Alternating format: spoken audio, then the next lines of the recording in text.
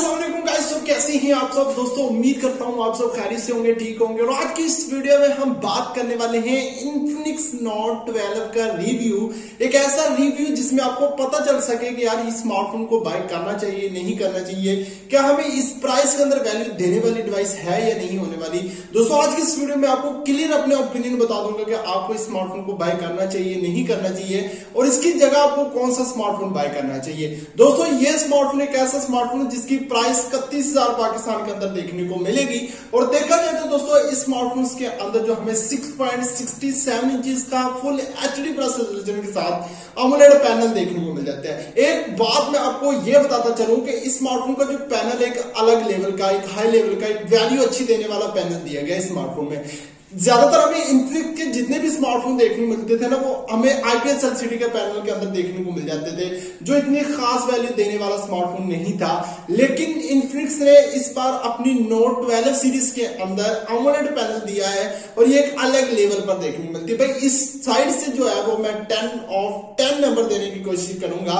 लेकिन दोस्तों, एक चीज़ क्लियर ये भी है कि स्मार्टफ़ोन की जितनी स्क्रीन बड़ी आपको देखने को मिलेगी, ये काफ़ी बड़ी देखने को मिल जाती है। मेन पॉइंट ये ये आता है कि आपके स्मार्टफ़ोन का डिज़ाइन किस तरह का। देखो भाई, इस स्मार्टफ़ोन का अगर डिज़ाइन देखा जाए ना तो वो एक अलग लेवल पर है। देखिए, इस स्मार्टफ़ोन पे अगर आप बिल्कुल अपने हाथ से बिल्कुल बगैर केस के आप यूज़ करोगे ना स्मार्टफ़ोन को तो आपका स्मार्टफ़ोन पे जो फिंगरप्रिंट के जो निशान है, वो लग जाते हैं। लेकिन इस स्मार्टफ़ोन में बिल्कुल ऐसा नहीं है। अब कहीं पर भी अगर टच करोगे तो आपके स्मार्टफ़ोन में बिल्कुल इस तरह का निशान जो है, वो नहीं देखने को मिलेगा।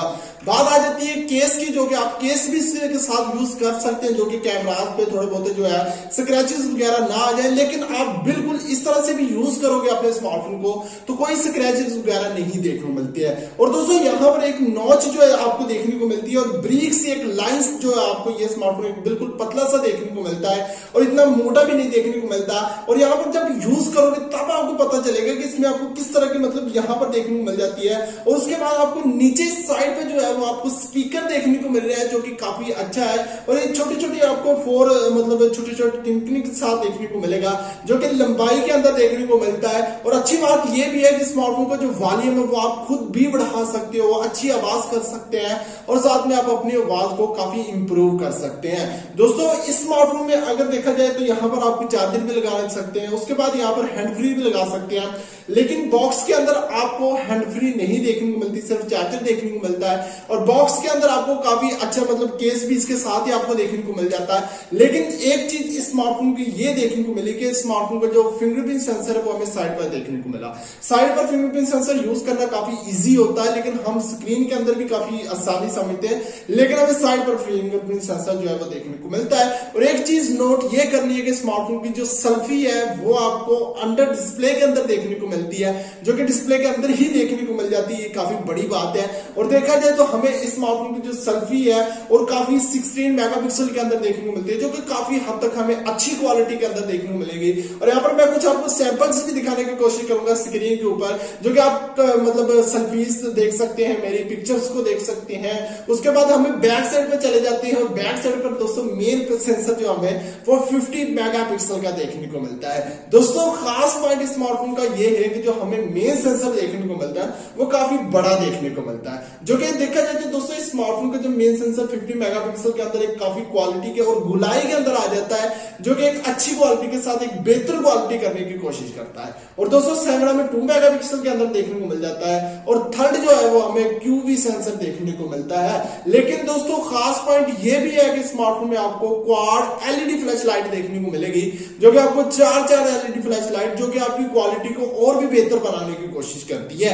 अब दोस्तों, यहाँ पर देखा जाए तो आपकी वीडियोस में अच्छी क्वालिटी कुछ मैं सैंपल्स आपके सामने रखता हूँ, जो कि आप देख सकते हैं यहाँ पर स्क्रीन पर भी देख सकते हैं, जो कि आपको अच्छी क्वालिटी के साथ देखने को मिलेगी वीडियो देखने को मिलेगी फ़ोटो देखने को मिलेगी। और यहाँ पर दोस्तों, अभी हम आउटडोर आ चुके हैं, जो कि बैकग्राउंड को छोड़ के अब यहाँ पर खुली सी हवा में आ चुके हैं, जो कि यहाँ पर काफ़ी अच्छी मतलब एक अलग ही है। लेकिन यहाँ पर छोड़े यार इस चीज़ को, लेकिन यहाँ पर लाइट चली गई है यार सीधी सी बात है। और देखा जाए तो लाइट जाने के बाद मैंने सोचा कि यार यहाँ पर वीडियो बना लेते हैं तो एक अच्छी ही बनेगी। लेकिन दोस्तों, मैं स्मार्टफ़ोन के बारे में ये बताना चाहता था कि स्मार्टफ़ोन की जो पाँच हज़ार की बैटरी है, अब पाँच हज़ार की बैटरी एक इतनी बैटरी है, जो कि आपके स्मार्टफ़ोन में अगर दिन भी, आप पूरे दिन भी अगर यूज़ करते रहो ना तो स्मार्टफ़ोन स्मार्टफ़ोन में कहीं नहीं जाने वाली है। और मेन पॉइंट ये, स्मार्टफ़ोन के साथ जो चार्जर दिया गया, अगर आपके स्मार्टफ़ोन की बैटरी कम भी हो जाती है, लेकिन चार्जर आपके साथ सपोर्ट करने के लिए तैयार है। क्योंकि स्मार्टफ़ोन में आपको 33 वाट की फास्ट चार्जिंग देखने को मिलती है भाई। स्मार्टफ़ोन की खास बात यह भी है कि स्मार्टफ़ोन में जो आपको गेमिंग परफॉर्मेंस है, वो आपको अल्ट्रा प्रोसेसर देखने को मिलता है।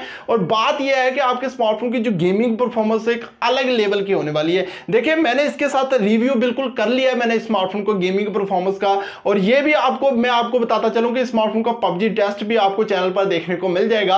अगर वो देखना चाहते हो तो आप जा सकते हैं चैनल पर और देख सकते हैं कि उसमें किस तरह की स्पीड आपको देखने को मिली है। एक मतलब एक अलग लेवल की आपको देखने को मिली है। और बात आ जाती है दोस्तों स्मार्टफ़ोन के खास फाइनल डिसीज़न की कि हमें इस स्मार्टफ़ोन को इस प्राइस के अंदर बाय करना चाहिए नहीं करना चाहिए। दोस्तों देखिए, अगर दोस्तों स्मार्टफ़ोन का डिज़ाइन पसंद है आपको, अगर आप स्मार्टफ़ोन का डिज़ाइन से सेटिस्फाई है तो आप स्मार्टफ़ोन को बाय कर लीजिए। क्योंकि दूसरी जितनी भी चीज़ें हैं, वो हमें एक अच्छी ही देखने को मिल रही है। क्योंकि इकतीस हज़ार के अंदर अगर देखा जाए तो डॉलर की प्राइस बहुत हाई हो चुकी है और इस प्राइस के अंदर इन्फिनिक्स ने इकतीस हज़ार के अंदर लॉन्च किया है इस डिवाइस को। तो देखा जाए तो दोस्तों, ये मेरा ओपिनियन जो है, वो मैं आपको यही कहूँगा कि स्मार्टफ़ोन को बाय कर लेना चाहिए। और देखा जाए तो दोस्तों ओवरऑल ये डिवाइस एक बेस्ट ऑफ़ बेस्ट डिवाइस होने वाली है। बाकी दोस्तों, उम्मीद करता हूँ कि आज की वीडियो आपको काफ़ी पसंद आई होगी। और वीडियो पसंद है तो वीडियो को एक लाइक चैनल को सब्सक्राइब तो चलिएगा। मिलते हैं किसी नेक्स्ट वीडियो में नेक्स्ट टॉपिक के साथ। तब तक के लिए अलाफिज़